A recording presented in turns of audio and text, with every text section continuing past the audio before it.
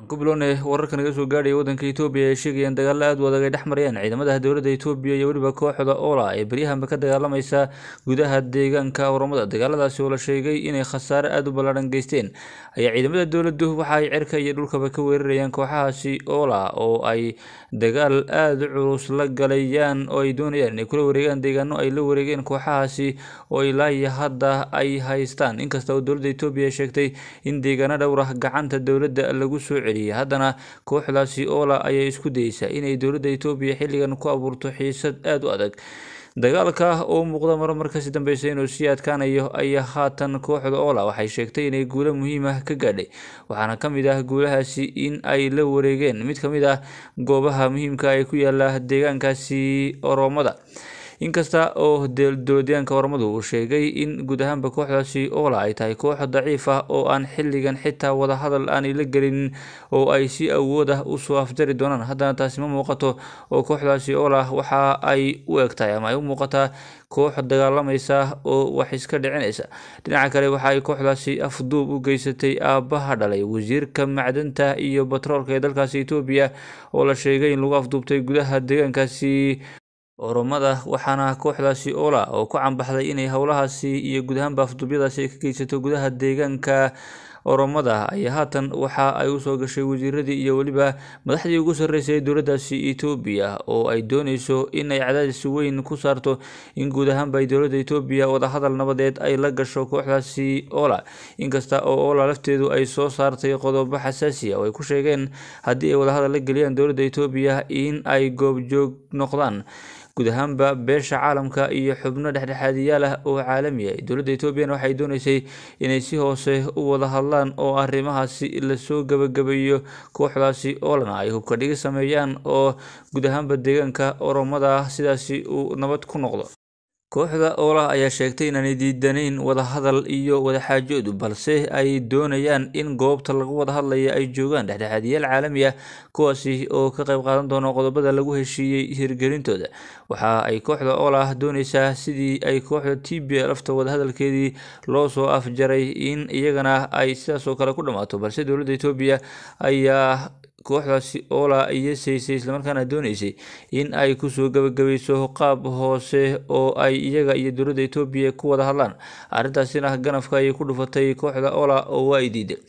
si kastoo haataba dagaaladuna waa ay sii socdaan guud ahaanba kooxdaasi oolana waxa ay u muuqataa in xilligan ay tahay awood weyn oo ka jirta deegaanka oromada taasi oo dhibaato xoog badan ku haysa shacabka deegaanka oromada. Qaar ka mid a shacabka deegaanka oromada ayaa waxa ay sheegeen in cabsi weyn ay dareemayaan marka ay isticmaalayaan waddooyinka guud ahaanba deegaankaasi oromada ah oo ay kooxahaasi oolah ku jiraan oo ay guud ahaanba dadka ku dhibaateeyaan qaar ay ku afduubtaan qaarna ay ku dilaanba goobtaasi. Si kastoo haataba haatan dowladda etoobiya ayaa sheegtay inay dagaalada kula jirto kooxdaasi oola islamarkaana ay ka qaadi doonto deegaano dhowr ah oo ay gacanta ku hayaan kooxahaasi balse dadka deegaanka oromadu waxay sheegeen in kooxdaasi oola xitaa haddii laga saaro deegaanada ay gacanta ku hayaan ay kooxahaasi yihiin kooxa inta badan dhigta isbaadhooyin ama jidkooyooyin waddooyinka waaweyn ee guud ahaanba deegaankaasi oromada taasina ay caqabad weyn ku noqonayso guud ahaanba dadka isticmaala waddooyinka deegaanka oromada ee u kala goosha dhinaca kale afduubkaasi loo geystay wasiirkaasi ka tirsan xukuumadda dowladda etoobiya aabihii dhalay ayaa waxa uu noqday waxa ugu weynay xilligan laga hadalhaya dalkaasi etoobiya arrintaasi oo guud ahaanba ku noqotay wasiirkaasi iyo weliba xukuumadda federaalk ee dalkaasi etoobiyaba mid lama filaan ah. Waxaana ilaa hadda la wada qaabkii lagu maarin lahaa laguna soo dayn lahaa aabahaasi dhalay wasiirka macdanta iyo batroolka ee dalkaasi etoobiya si kastoo haataba dowladda etoobiya waxay sheegtay in kooxdaasi oola aanay marnaba u naxariisan doonin oo ay haddii ay wadahadal diidaan ay dagaal adag la geli doonaan lasoona afjari doono dhinaca kale waxay kooxda oola xitaa ay dhibaato weyn ku haysaa xuduudka waddamada etoobiya iyo kenya iyadoo la sheegay in weeraro ay ka geysteen aagaasi islamarkaana ay dad shacab ah ku dhibaateynayaan xuduudka labadaasi wadan gaar ahaana dhinaca dalkaasi etoobiya oo ay jidkooyooyin ka dhigteen guud ahaanba waddooyinka aada dhanka mooyaale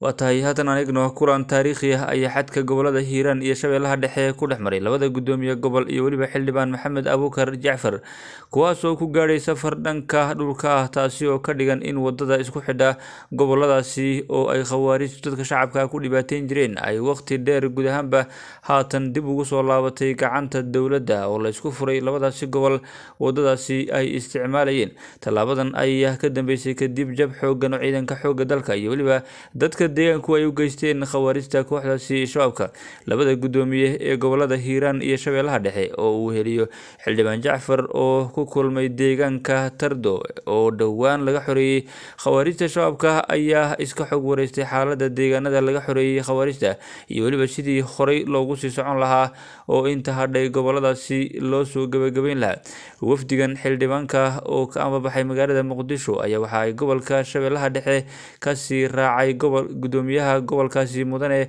axmed mayre makaraan waxayna noqonayaan mas'uuliyiintii ugu horreeyey ee safar dhulka ah ku mara deegaano dhowr ah oo xiriiriya gobollada banaadir shabeellaha dhexe iyo hiiraan. Arrintaasi oo loo arkay guul weyn oo dowladda soomaaliya ay gaadhay xilligan khawaarijta safafka horena ay ka gaadheen balse weli ay khatar weyn wajahayso magaalada caasimada u ah dalka soomaaliya ee muqdisho inkasta oo madaxweynuhu uu sheegay in la sameyn doono isla xisaabtan dhab ah islamarkaana la sheegayba inuu tallaabo qaaday madaxweynuhu oo uu soo xidhxidhay qaar ka mid ah saraakiisha ciidanka booliska soomaaliyeed ee ku sugan gudaha magaalada muqdisho kuwaasi oo shaki weyn laga muujiyey. Kadib weerarkii ka dhacay gudaha hoteelka villaros oo aan wax badan u jirin dhismaha madaxtooyada ee villa soomaaliya. Si kastoo haataba dowladda soomaaliyeed ee uu hogaaminaya madaxweyne xasan sheekh maxamed iyo weliba wasaare xamse cabdi barre ayaa waxay wacad ku mareen haatan in cid walba oo uu galo baaritaankaasi ama guud ahaanba baaritaanada la sameynayo in ay xabsiga dhigi doonaan ama ha weynaado ama ha yaraada arrintaasi oo noqotay mid aada loo soo dhaweeyey dad fara badan ah ay ku bogaadiyeen madaxweynaha iyo weliba xukuumadda federaalk ee soomaaliya tallaabooyinkaasi ay qaadeen. Haddii aan tallaabooyinkaasi la qaadinna waxa ay madaxweynaha u sheegeen in uu wajihi doono khatar aada u badan oo xitaa laga yaabo in uu naftiisa ku waayaba. Sida ay wax u socdaan marka la eego waa tahay haatan anigna warka naga soo gaaraya magaalada adhisabab ee xarunta waddankaasi etoobiya waxaa halkaasi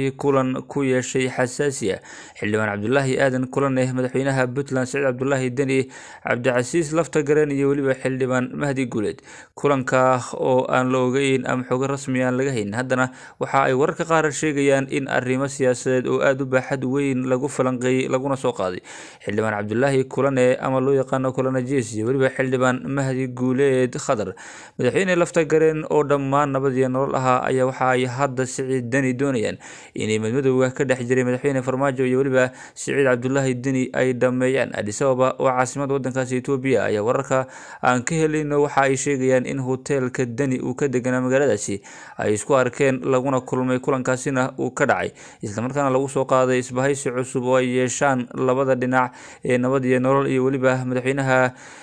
puntland siciid cabdulaahi deni. Akhyaarta sharafta leh wada nagala socoto uu taniyo kulanti dambe nabadgelyo